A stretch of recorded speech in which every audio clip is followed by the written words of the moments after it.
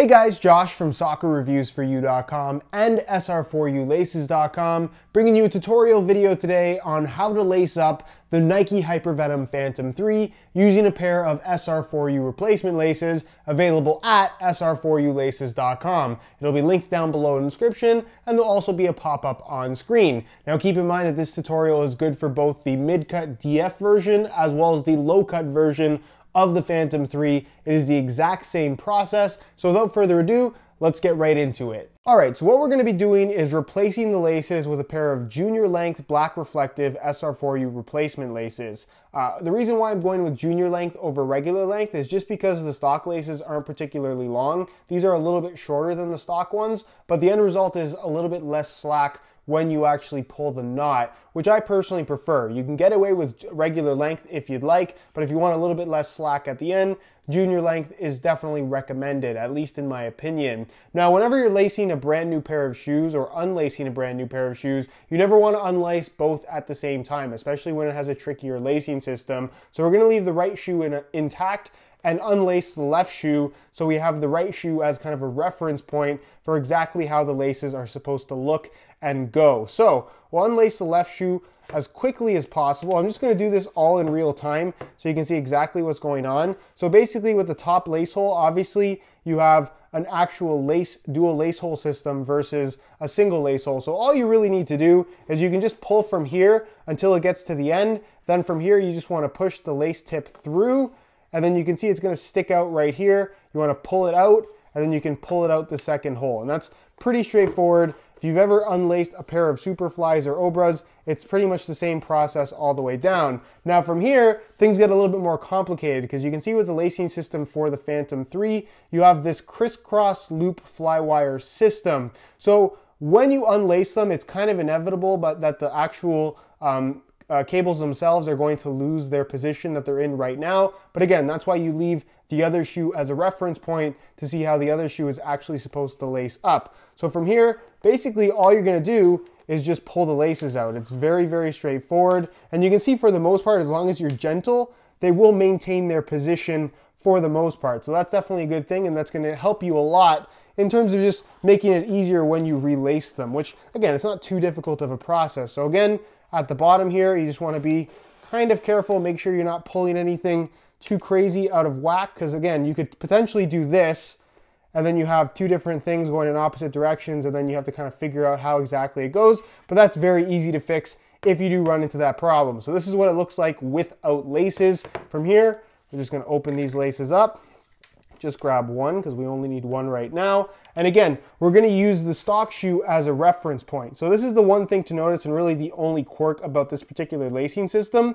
is that the way the actual flywire cables crisscross at the bottom is different from all the other positions. So you can see right here that the higher one on the shoe, if we're starting from the toe, if the toe counts as the lower part and this part counts as the upper part, you can see that the upper loop crosses over the actual lower loop. So that's the one that's in front, and that's the case on both sides. Again, the upper loop is in front of the lower loop. So you basically want to mimic the same thing on this particular shoe, where the upper loop is on top of the lower loop. So from here, you basically just want to string it through the first one, and then string it through the second one, and that's pretty much it. You want to pull it through from here, let that hang over top, grab the other end, and then again, from the outside, you wanna make sure that the upper loop is over top of the lower loop. String it through one,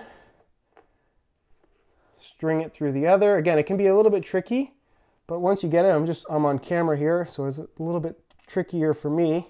But again, I wanted to do this in real time so you can see what it looks like. But there you go. I basically got it up until this point. So at this point, now you just wanna make sure the laces are even on both sides. So what you do is grab both ends so they're like this, pull it all the way through, make sure it doesn't get caught on the toe, and then just make sure that they're even all the way to the end. So you can see that I'm holding them evenly, and then you're left with two sides that are exactly the same length. So from here, it's a pretty straightforward process. I like to go from the outside to the to from the inside to the outside and then continue that pattern all the way up. So that's what I'm gonna do. Again, as a reference point here, you wanna make sure that the actual uh, lace holes are crisscrossing in different directions now. So instead of the upper one being in front, now that's in the back. And of course, the lower one is in front. And that's the case on both sides of the shoe, as you can see. So we're gonna mimic the exact same thing, except now the laces are actually gonna be passing through from the inside out. So again, you're gonna have the um, upper lace hole is gonna be behind and the lower lace hole is gonna be in front. So you wanna go through the upper one first and then make sure that you get through the second one just like that. Pull it through and then basically just repeat the process. So again, the upper one is on the outside, the lower one is on the outside, sorry. So from here, string it through. It's just a little bit of fiddling with the shoe and fiddling with the actual flywire cables to get it to work. Basically, you just want to crisscross from here.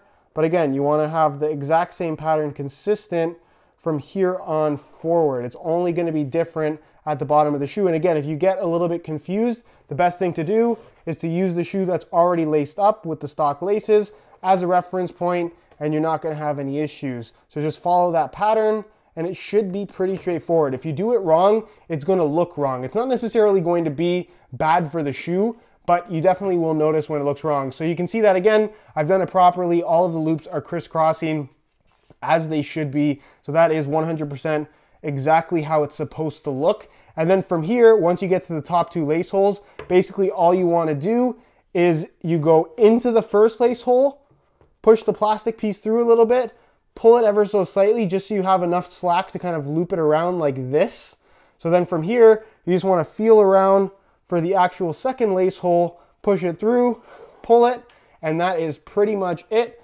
Do that a second time and you are good to go and you have completely laced up your Phantom 3s with, like I said, very, very little struggle. I did this on camera. It took me about a minute, two minutes tops. But again, very easy process and you're left with the final result being a relaced pair of Phantom 3s that are done exactly the same way as the stock laces come. Alright guys, so that is pretty much it for the tutorial. It's a pretty straightforward process. Just follow the steps closely and you should be able to relace your Hypervenom Phantom 3s without any issues at all. Again, if you are interested in a pair of SR4U replacement laces, the website to go to is www.sr4ulaces.com. You'll see the website name on screen. It'll also be linked down below in the description, the very first link. So be sure to go ahead and check that out. If you have any questions, leave them down below in the comments and I definitely will get an answer out to you. If you enjoyed today's video, found it helpful and informative, be sure to support it with a like. Subscribe if you haven't already for daily videos on all the latest and greatest soccer gear. You can find all of my social media information linked down below in the description as well. And other than that, guys, hope you enjoyed today's video. And as always, thanks for watching.